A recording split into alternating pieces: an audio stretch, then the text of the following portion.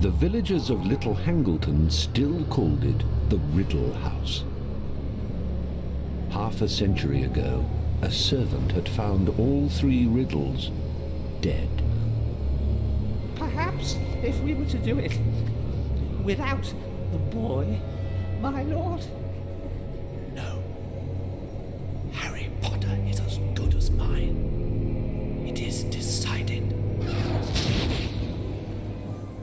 Harry Potter and his friends Ron Weasley and Hermione Granger travelled by Portkey to the Quidditch World Cup final, where they saw Ireland defeat Bulgaria. Later that night, a gang of Death Eaters, followers of Lord Voldemort, rampaged across the campsite. Arthur Weasley sent Harry, Ron and Hermione back to the Portkey.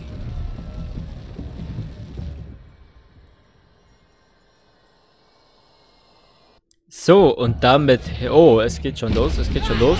Hä, wie bewege ich mich? Hallo? Meine Tasten funktionieren nicht. Hä? Ach, lol, ich steuere hier mit den Pfeiltasten. Wer hat sich das denn ausgedacht? Aber jetzt erstmal. Ja, hallo und herzlich willkommen, liebe Freunde, zu Harry Potter und der Feuerkelch. Und passend zu Feuerkelch ist hier auch schon alles brennend mit Feuer. Genau, ja, Feuer brennt. Ähm, so, und ich bin jetzt hier gerade erstmal negativ überrascht worden von diesem Spiel, weil ich musste feststellen, dass meine Tasten, mit denen ich laufe, also die... Lol, was ist denn jetzt los? Was ist das denn?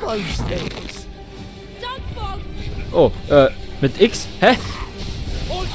Lol, was ist das denn? Also da muss ich mal ganz dringend in die Einstellungen rein, weil diese Steuerung ist ja fürchterlich. Hä?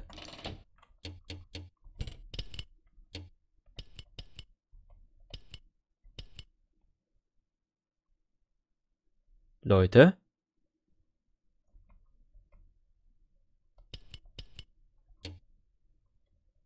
Wo sind die Steuerungseinstellungen? Wo sind die Grafikeinstellungen? Hä? Was ist das denn für ein komisches Spiel? Aber vielleicht kommt es auch noch, weil jetzt wurden wir hier ja echt so in dieses Level reingeschmissen, dass es so weit noch nicht möglich ist, hier irgendwas umzustellen. Jetzt warte ich einfach mal ab, bevor ich hier schockiert bin. Aber diese Steuerung ist echt fürchterlich. Oh, Mr. Weasley. Nein, äh, da drauf bitte. So. Ja, und, äh, mit C. Was ist das denn für eine Steuerung?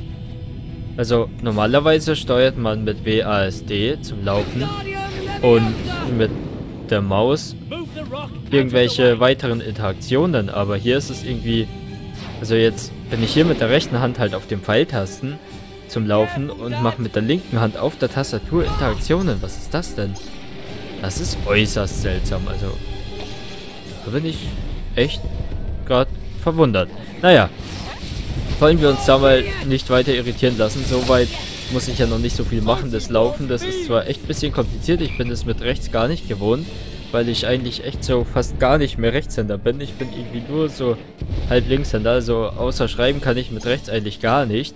Äh, vielleicht bin ich eigentlich auch Rechtshänder, aber dann früher so wurde mir der Stift ein... Äh, nee, vielleicht bin ich auch Linkshänder so rum, aber der Stift wurde mir dann so in die andere Hand gedrückt und dann habe ich so rum gelernt. Aber ich kann echt eigentlich nichts mit der rechten Hand. Äh, sondern bin so übel der Linkshänder und komme auch hier mit dieser Steuerung gerade nicht wirklich zurecht. Dann mit rechts zu laufen, da bin ich voll überfordert, irgendwas hier zu steuern. So. Ja. Jetzt schauen wir einfach mal, was hier draus wird. Äh, ja, und ich hoffe vor allem auch, dass man die Grafik mal noch umstellen kann, weil die ist aktuell ja eklig. Also, da kann ich nichts weiter dazu sagen. Da können wir Tetris im Hörer aus so spielen. Ah, ich kann S drücken. Ja, was war das denn? Was habe ich jetzt gemacht? Was ist jetzt los? Hallo? Ey, macht es weg. Hä, was? Hä? Was passiert hier? Wie kriege ich diesen Stamm hier weg? Es war es ja schon mal nicht, was hier dort stand. Da ist irgendwas... Oder vielleicht war ich mit S gerade so stark, dass ich da hätte drüber hüpfen können oder so. Weil die Leertaste zum Jumpen funktioniert irgendwie auch nicht. Das ist echt seltsam schon wieder hier. Warte, X habe ich bisher kennengelernt. Mit X... Hä, jetzt kann ich mich gar nicht bewegen. So. Mit X kann ich mich bewegen. Äh, kann ich zaubern? Das ist schon mal nicht. Mit S auch nicht. Was war noch? Mit C. Aber auch mit C passiert nichts. Hä? Was ist die Taste, dass ich hier was machen kann? Das ist X. Ja. Ah, lol, hier ist gerade was passiert. Mit Y. Ah. Aber das hilft mir in dem Fall hier auch nicht. Was haben wir sonst noch für Tasten? Jetzt muss ich ja echt einfach durchprobieren. Okay. Mit X, ja, hier halt Sprayman. Mit Y Actio. Und C war gerade irgendwie auch noch was, aber es geht jetzt hier auch nicht. Ah, lol, ah! Ah, okay, es geht doch mit C. So, ja, so, perfekt.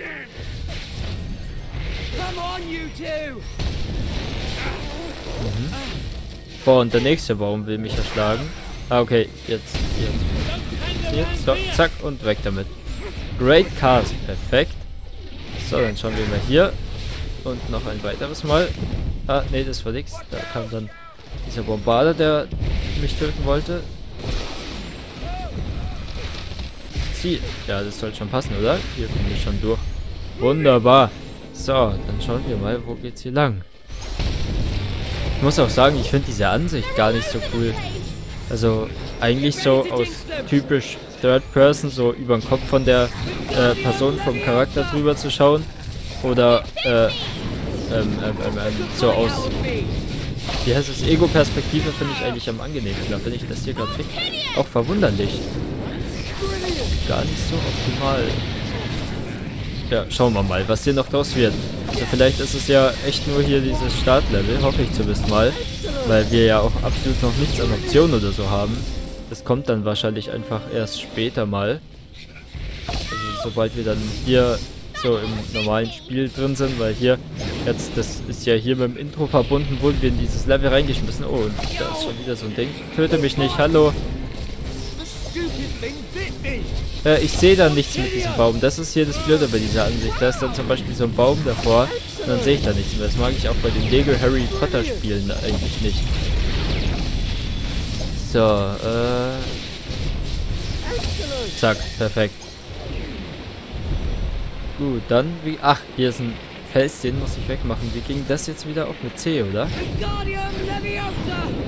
Und auf die Seite. Entspannt.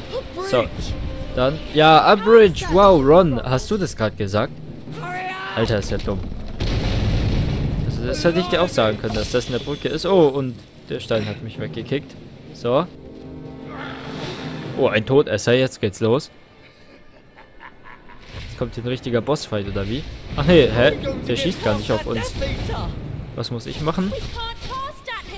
Achso, Hermine sagt gerade, ich kann nicht auf den schießen. Aber hier unten ist wieder so ein Stamm. Ah, die helfen mir sogar. Hermine wurde einfach vom Stein erschlagen. Naja, ihr geht's noch gut. Oh, der hat den Zauberspruch fürs dunkle Mal gesagt. Ah ja, genau, das sind wir auch schon. So, ja, wo ist der denn?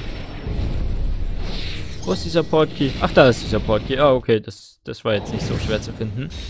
Äh, was? Da war gerade irgendwas mit Defense Against the Dark Arts, aber ich habe es nicht schnell genug gesehen. Naja. Mal schauen, was uns jetzt erwartet. Mhm. Ja. Okay. Boah. Leute, wieso? Was ist das da für ein Gebäude, was vor Hogwarts steht? Und wieso hat die große Halle auf der Vorderseite Fenster? Hä? Boah. Das ist echt cool gemacht, aber die Grafik ist halt so ranzig. May I introduce Professor Moody. Your new Defense against the Dark Arts, Teacher. Aber irgendwie ist es so ein bisschen rückschrittlich, finde ich, jetzt im Vergleich zum dritten Teil. Da ist ein bisschen weniger Animation jetzt drin, sondern mehr so in 2D jetzt wieder, so mehrere Schichten, wo es irgendwie äh, hin und her ging. Choose Location. Okay, dann suchen wir uns jetzt mal eine aus. Ich würde die große... Oh, das hat geblendet. Hä? Das ist aber keine Location-Charakter. Okay, dann nehmen wir jetzt einfach Harry. No Collector's Card. Dann...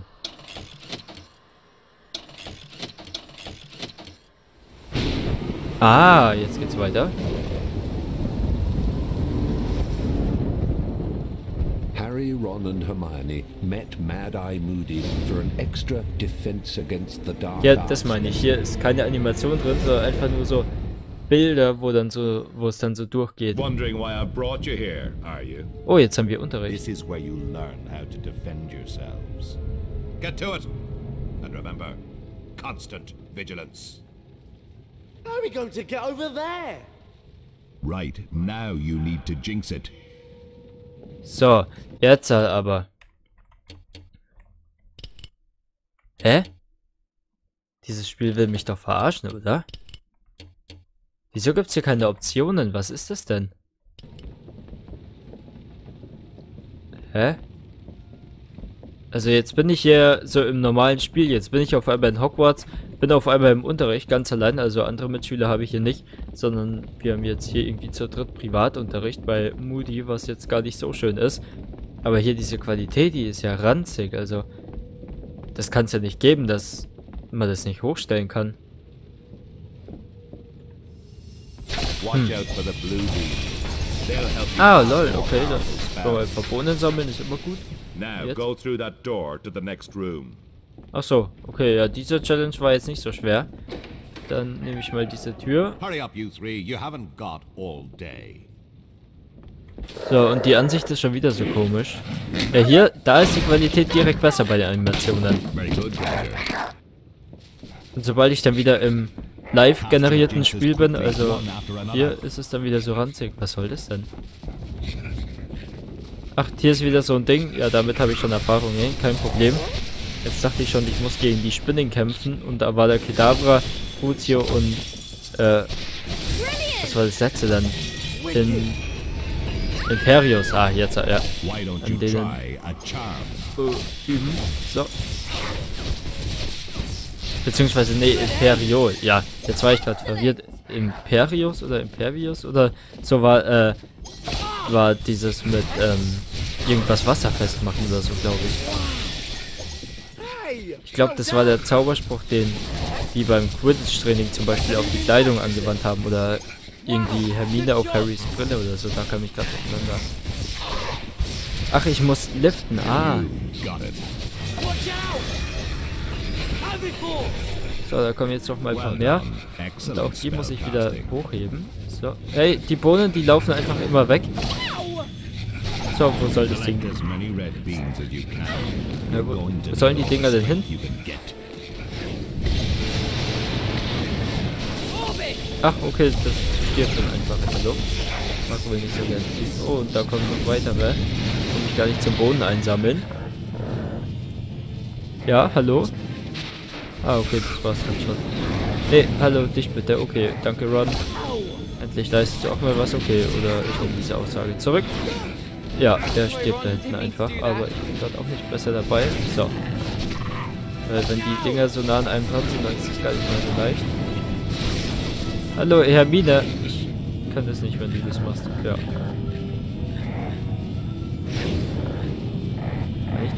Den Stein über Kopf hauen. Hier, Rod. So. Boom. Oh, schade, ich habe ihn nicht getroffen. Nein, ich will nicht den Stein.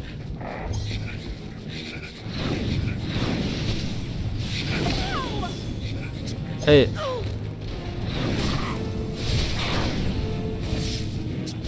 Oh wow, der ist einfach stuck. Was ist denn das hier in dem Spiel schon wieder? Also, so wie das hier losgeht, das gefällt mir ehrlich nicht. Das macht jetzt nicht den besten Eindruck.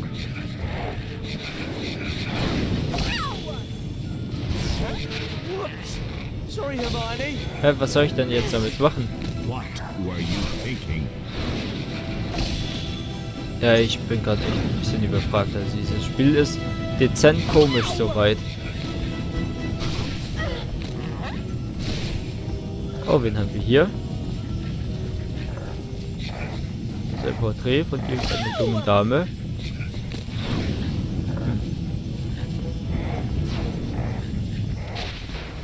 Ja, das da hinten ist einfach stuck und die anderen, die wollen irgendwie auch nicht sterben. Ja, jetzt habe ich sie dann Lux und was soll ich denn jetzt hier oben damit machen? Ach, einfach nur lang genug hochhalten.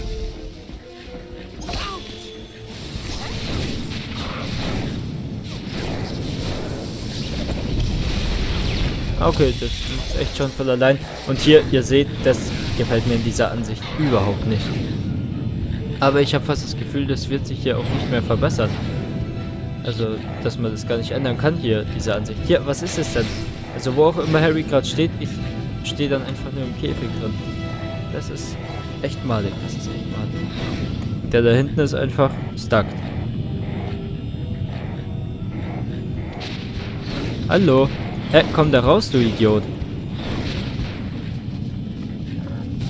Also irgendwie habe ich das Gefühl, werden die Spiele zunehmend schlechter und nicht besser. Eigentlich habe ich mir erhofft, so, äh, dass es mit jedem Teil so eine Besserung gibt, wenn die dann einfach neuer werden, die Spiele, aber so, der dritte Teil war verbuggt und der vierte Teil ist jetzt hier irgendwie noch schlimmer.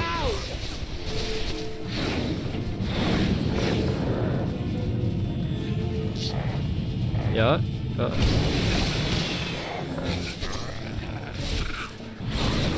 Hallo, sind die jetzt mal zu Ende? Ich will langsam diese Dinger nicht mehr hochheben müssen.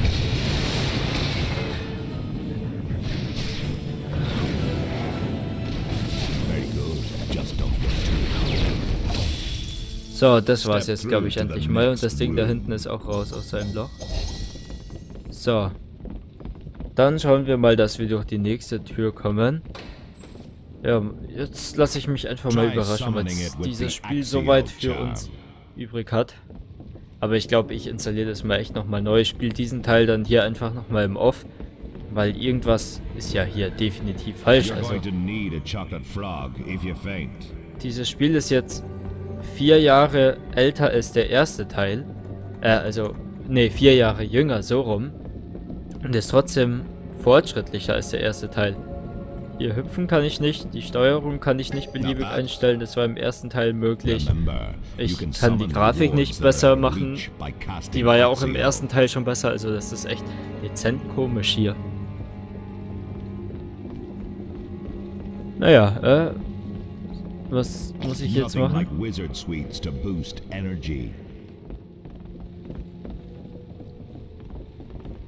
Ah, hier steht Z dort. Den kann ich nicht mitnehmen, oder wie? Den schon. Den auch nicht, hä? Was ist das hier? Ah, das ging jetzt wieder. Vielleicht muss ich aber auch im richtigen Winkel einfach nur dahin stehen. Ah, ja, das ging. Hä? Ja, und jetzt war's das. Jetzt wird uns hier ein Buch freigegeben. Ups, Collect the Spellbook. Äh, jetzt will ich aber gerne mal noch kurz testen, ob ich das hier noch irgendwie bekomme. Gib mir das, hallo, ich will das haben. Kürbispastete, komm her.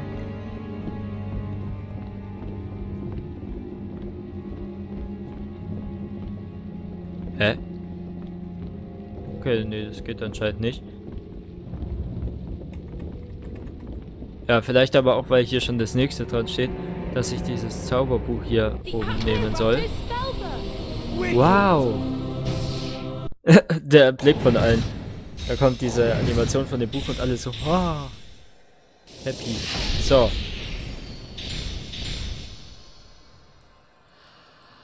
Mhm. Und jetzt?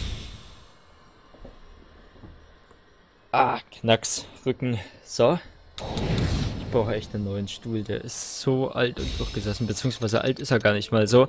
Aber trotzdem, ich saß da schon so viel drauf. Win the Triwizard mm-hmm. Tournament. And that champion must survive three very dangerous tasks.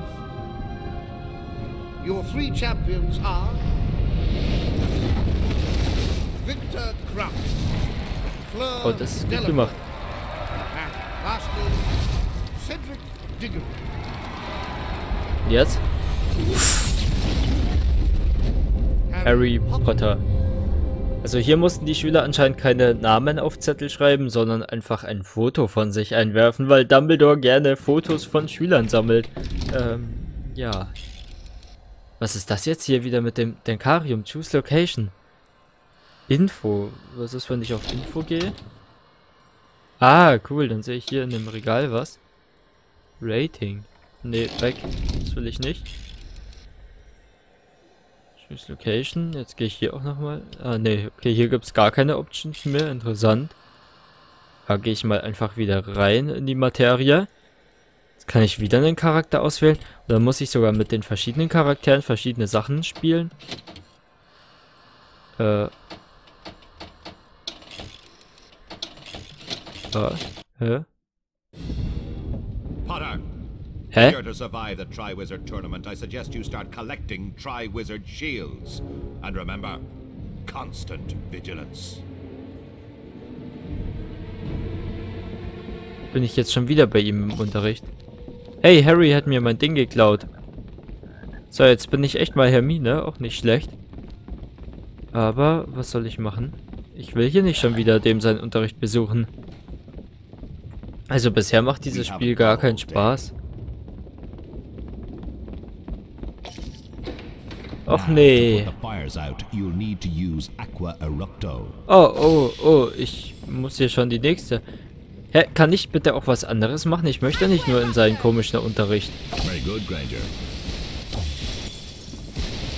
So, ja, Bohnen, Bohnen, Bohnen, Bohnen, kommt her. Warte, welches Feuer soll ich dann... Ach, da drüben, Ron schon. So. You'll need to work together to put out the bigger fires. Ja, dann helft mir mal. Ron! Harry! Was macht ihr? Hallo, ich bin an dem Feuer hier dran. Schön, dass die einfach was anderes machen. Wäre ich jetzt kein Junge, würde ich typisch Jung sagen. Weil ich hier gerade Termine spiele. Hä? Was? Die sind so unkoordiniert. So, wir machen jetzt zu dritt bitte... Ron! Okay, es geht zu zweit auch.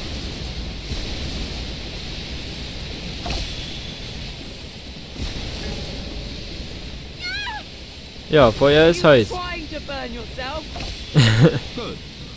Genau.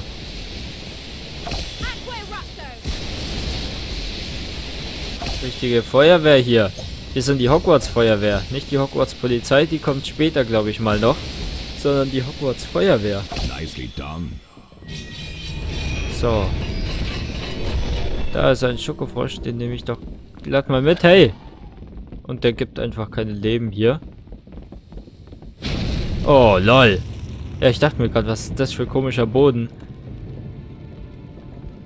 So, jetzt brauchen wir aber vereinte Kraft wieder. Good. perfekt. Das ist mies, dass die Boden immer weglaufen. So, Ah, now you should remember this creature. Feuersalamander. Kennen wir auch aus dem vierten Teil. Ich weiß gar nicht, ob die früher auch schon vorkamen. Da mussten wir sie aber noch mit diesem Glacius, mit dem Eiszauber, töten. Lol, wie sieht der denn jetzt aus? Der sah gerade nicht mehr ganz gesund aus. Da ist gleich der nächste. So, und auf ihn. Ey, da kommt einfach noch einer. Kann ich den allein töten? Schieße ich mal noch auf den anderen, der wirkt gerade bedrohlicher auf mich. Hallo? Get a jinx on it. Ah, jetzt helfen die mit. Und der andere, der erwacht wieder zum Leben. Und entzündet sich, genau. So, Bohne, Bohne, Bohne. Alle meine Bohnen. You So, hallo. Ah, jetzt habe ich wieder diesen komischen... Ich verstehe nur immer noch nicht den Sinn von diesem Modus.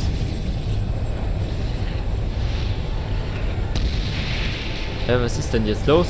Was mache ich hier?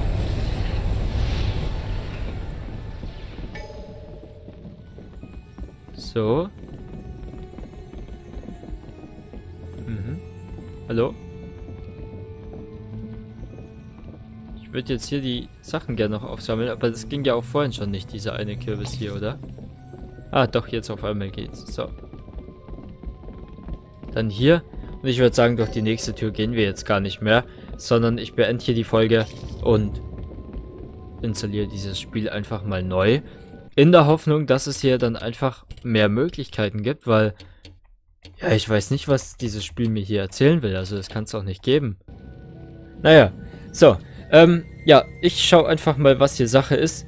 Und wir hören uns dann am Sonntag wieder, hoffentlich unter besseren Bedingungen in diesem Spiel hier.